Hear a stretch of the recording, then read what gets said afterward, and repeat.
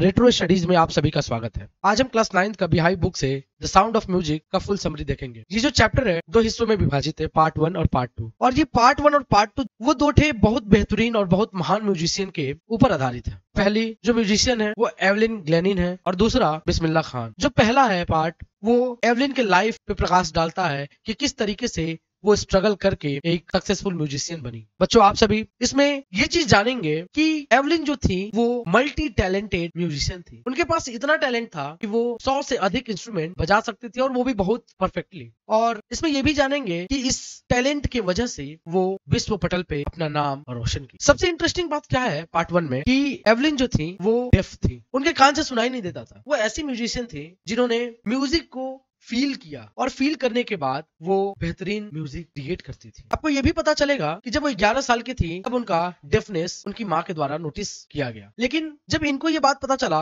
कि इनको कोई चीज़ सुनाई नहीं देता है, उसके बावजूद भी वो रुकी नहीं। वो अपने म्यूज़िक के उस करियर को आगे बढ़ाते हुए निरंतर आगे बढ़ती गई। और इसके पीछे जो रीजन था, वो उनका टीचर था, जिसका नाम रॉन फॉब्स था। रॉन फॉब्स इनके टैलेंट को पहचान लिया था और वो कहता था कि आपके पास इतना पोटेंशियल है कि आप इम्पॉसिबल चीज़ को भी अचीव कर सकती हैं और मदद मैं करूँगा। वो इतना मोटिवेट कर देता है कि अगर कान से नहीं सुनाई देता है तो कोई दिक्कत नहीं है। आप चीज़ों को महसूस करिए, अपने बॉडी पार्ट से महसूस करिए और फाइनली आप बहुत बेहतरीन कर पाएँगे।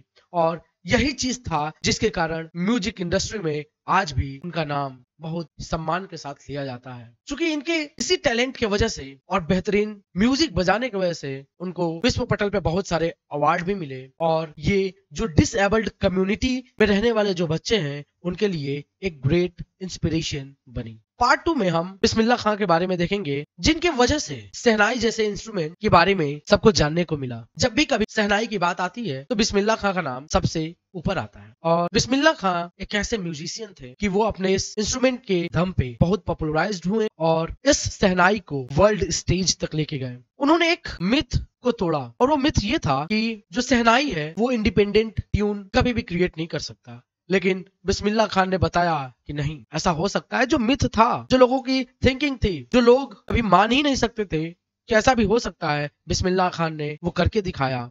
और बिस्मिल्ला खान एक ऐसे म्यूजिशियन थे, जो कि म्यूजिशियन के फैमिली से ही बिलोंग करते थे। हम लोग देखेंगे कि इनकी शुरुआत एक अलग तरीके से हुई। ये गंगा घाट के किनारे प्रैक्टिस करते हुए बड़े हुए। वो मस्जिदों में भी जाया करते थे, मंदिरों में भी जाया करते थे और जब उनको बहुत ज़्यादा सक्सेस मिल गया उनके लाइफ में तो उनको फाइनली बहुत सारे पुरस्कारों से नवाजा गया, जो इंडिया का सर्वोच्च सिविलियन अवार्ड होता है, द भारत रत्न, उनको इस अवार्ड से भी नवाजा गया। और ऐसा ही नहीं था कि बस भारत रत्न ही, वो रुके नहीं।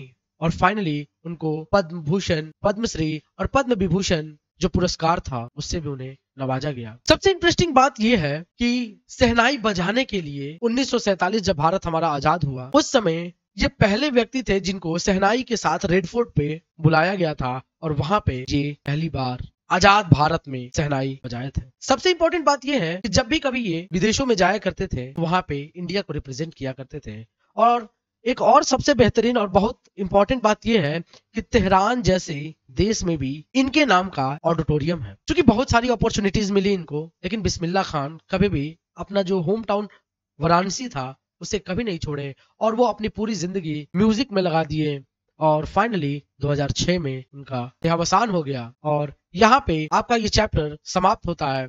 Thank you for watching please like share subscribe my channel retro studies